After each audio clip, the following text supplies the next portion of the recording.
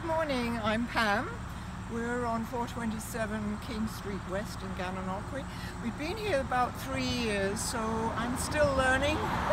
Most of the flower beds were laid out and all the rocks, but uh, I've changed quite a bit.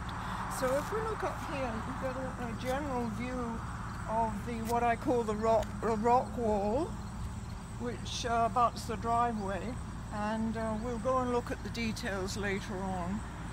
Um, this was this bed was already here, but where you see the zinnias, that was all Pachysandra because there was an old tree here. It was all shade. So when the tree went uh, dead, I pulled up the Pachysandra and then I was faced with a problem of what to do to fill in for now. So I put pots of petunia, which I already had, and then I tossed in some seedlings of zinnia. I didn't know what color or how tall, but as you can see, they've done, they've done pretty well. So maybe walk over. Oh, this is um, an area where I'm growing iris. I moved all my iris from the shade at the back because they were never flowering. And I've got patches here and patches there, some of them given to me, and they flowered quite nicely. Uh, and to fill in the gaps I planted Morning Glory just to let it spread and I think we're going to get some flowers in a few days. So let's go over to the rose bed. I dug this area for a road bed a couple of years ago. It's about the only full sun that you need for roses. And I have about eight David Austin roses. Unfortunately, as gardeners go, I cut them back and although they're all in bud, uh, there are very few flowers now. It's called the Lady of Shalott and it's very fragrant as well. And you might get a shot of all the buds on the others, so, so they're all different colours.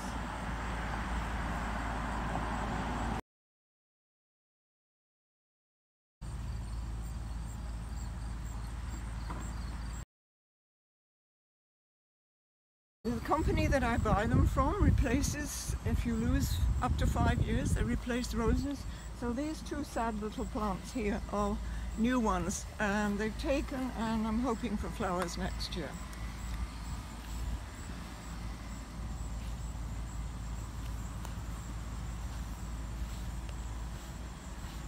This is, um, this is one of the perennial geraniums that I really love. It's called Rozanne.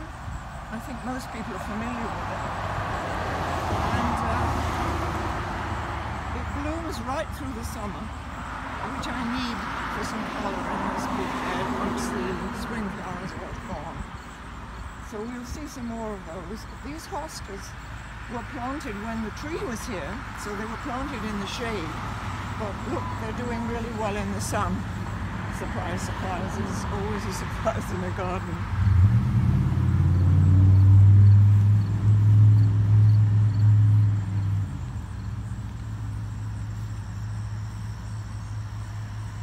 This uh, white verbena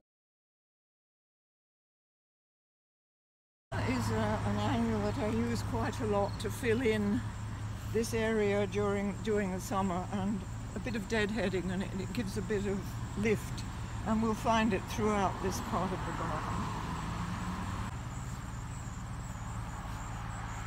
So things like the Artemisia are really drought tolerant. And this is um, this yellow plant is Corydalis. It's a, a native and it seeds itself and I've just let it grow because it gives me a bit of more colour. I've also planted some in the back in the shade. This is my big success for this month, which is uh, Japanese anemones. Uh, you need something to lift at this time of the year when there isn't much new, and these have certainly done very well. See some more of the blue,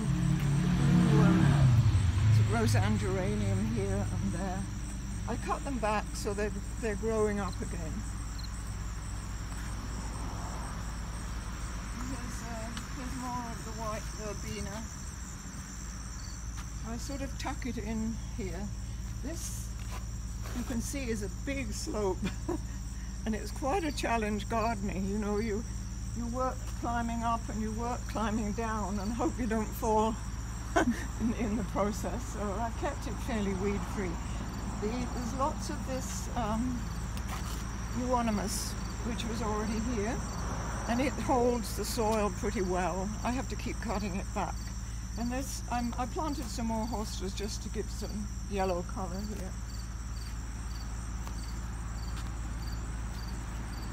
So now we could go around the back and have a look at the uh, pond and the rock garden. I started growing a few vegetables this year, sort of victory garden syndrome, although it's really very shady. So these are my scarlet runner beans. Um, the only place I could put a trellis was here and they're sitting on a wall so they're all in containers which is a bit limiting. They have to be watered twice a day. However, they are flowering and if you get a magnifying glass you can actually see a few beans. this is a sort of memory of my old dad who was a champion scarlet runner bean grower in England. Uh, I'm going to move the idea over into the sun later on next, next year. So this is the first attempt at a vegetable garden. We pulled up a lot of old hostas and we have Asian greens, arugula, second sowing of spinach, uh, tomatoes, quite a few herbs and some peppers. The chipmunks have done better than we have on this, but the tomatoes and the herbs have been absolutely wonderful. And those Asian greens are kind of nice in a salad. You have to pick up the ones that haven't been chewed.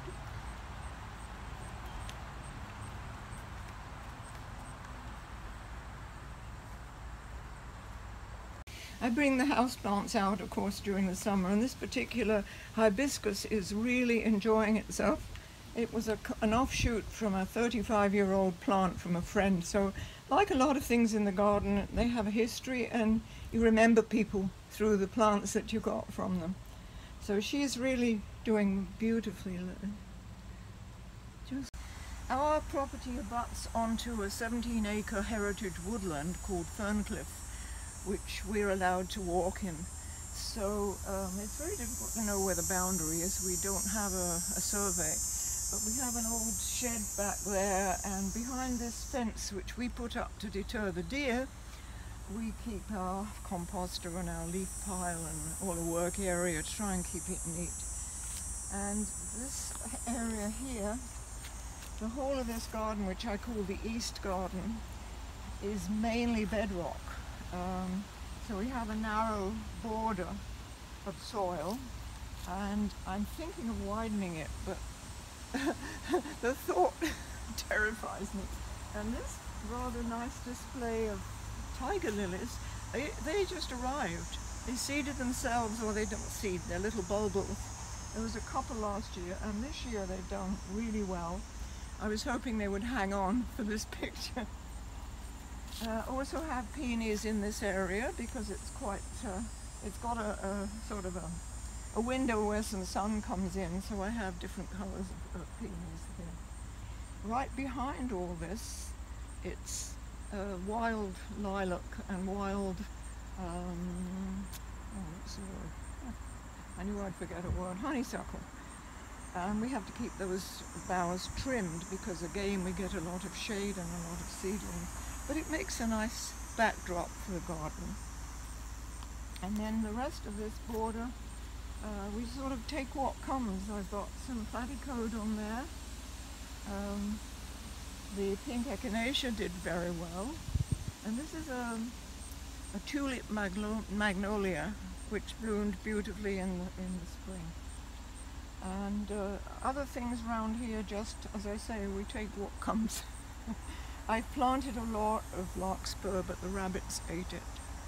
That's a fun thing about being next to a forest. you've got deer, you've got foxes, and lots of birds, which is great. And um, the chipmunks that have taken up residence in, uh, in the garden.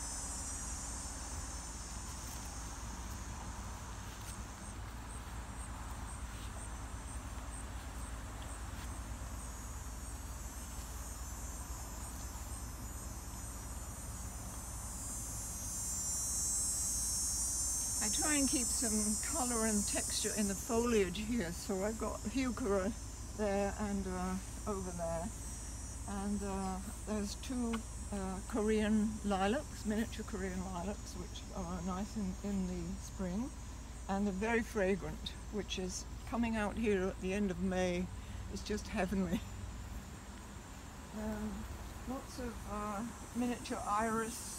Uh, this one I actually got from from Elaine. I bought it from Elaine and it spread everywhere. She talked about it in her garden. And some um, daylilies, and I'm gradually adding a few more daylilies because they seem to do all right here. And uh, over here, lots of bergamot. Uh, and this, I don't know if I can get close up. This is one of my favourite annuals. It's called Larkspur and it's the annual version of delphinium. The flower is much more delicate than delphinium. Normally it seeds itself all over the place, but as luck would have it, this year it didn't. So I've only got just a few very sparse ones. And I got this seed 20 years ago from a, a friend in, uh, who came from Europe, so I don't want to lose it. So a lot of my friends have got the same plant and they're going to give me seed. And I scatter it in the spring. But it's a delightful flower and a lovely colour at this time of the year, setting off with the purple of the bergamot.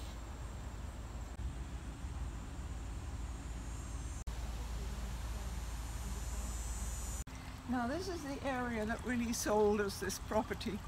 The, uh, the rock, or hillside as I call it, and the pond um, is just charming and so restful.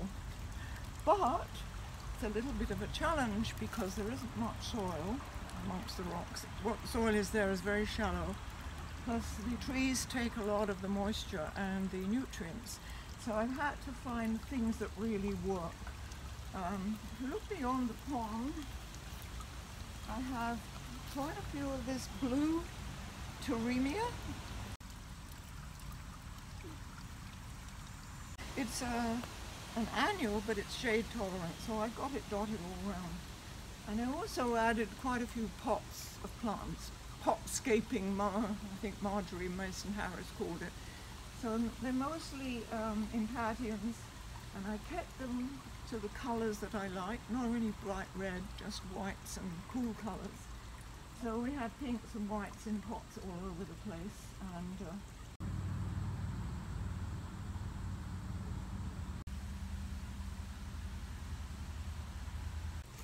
Here's the pond itself. We have um, we have resident frogs that conveniently sit on the lily pads, and the lilies are, so far haven't flowered, but you can also see the uh, iris. The it was a yellow water iris that I got from Wanda and that uh, that flowered beautifully. And the one beside it is a Pontederia um, pickerel weed, and it has a blue spike and those are new so they haven't flowered yet. That's a native, that's a native aquatic plant. This is the wine bar.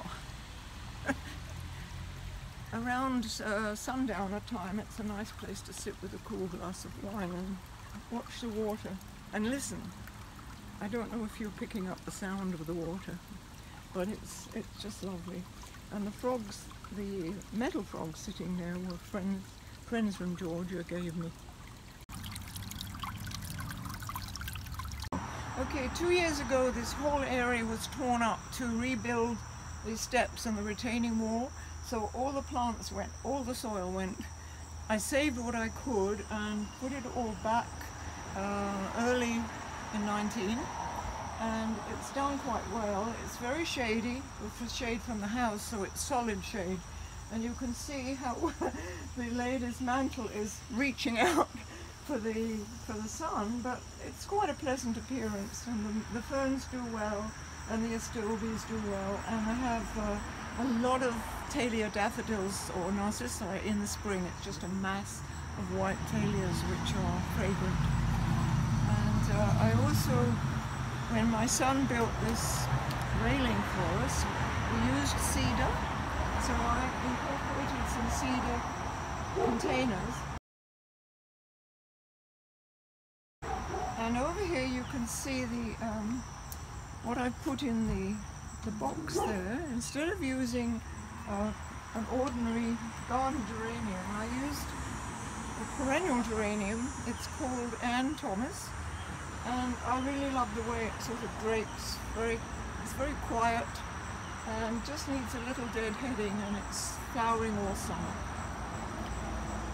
So that's um, down, going down the steps here, which my son built. You can see all the white, the green foliage of, of the trailing phlox, which is a bright pink statement in May. Everybody remembers the phlox, it's all the way down. But once it's finished flowering, that's it. So uh, that's why I try and bring in some some other colour and some more variety during during the summer. So this was all replanted as well. So that is what I'm doing with my garden. thank you for your interest. I hope you enjoy it and you can drive past anytime and have a look and drop by and say hello. Thank you.